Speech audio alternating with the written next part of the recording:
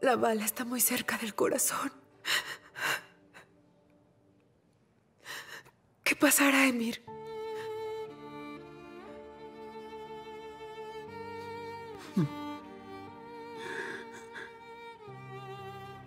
Dijo, no voy a dejar a Sibel.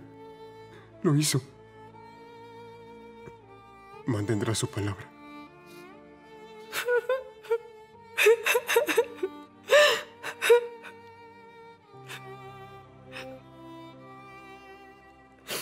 ¿Qué ocurre, Sibel? Ah, nada. Solo esperamos. No pasó nada, ¿verdad? Noticias. Ella tuvo una hermosa niña.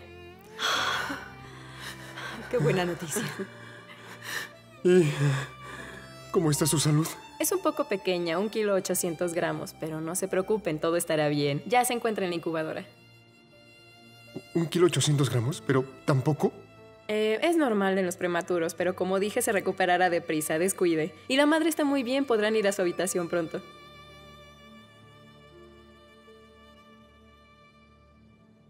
Nuestro padre se ve un poco asustado, ¿verdad? Cuídenlo y felicitaciones.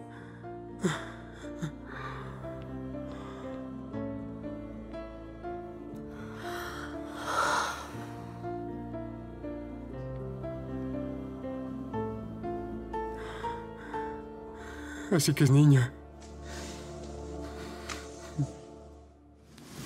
Bueno, ya cuéntame, Cubra. Eh, ¿Qué dijo el doctor?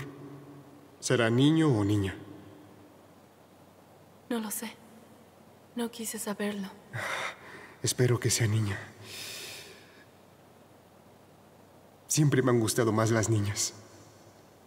Tal vez por el trauma que mi hermano me creó.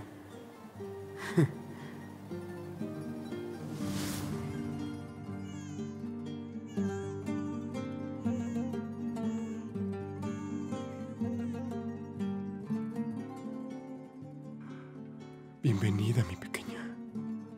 Es hermosa, ¿verdad? Sibel, ven aquí.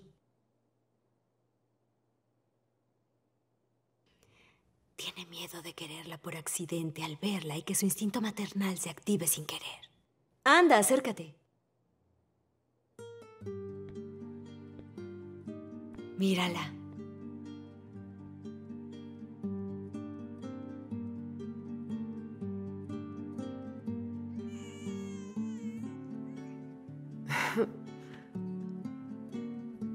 Ella es como un milagro.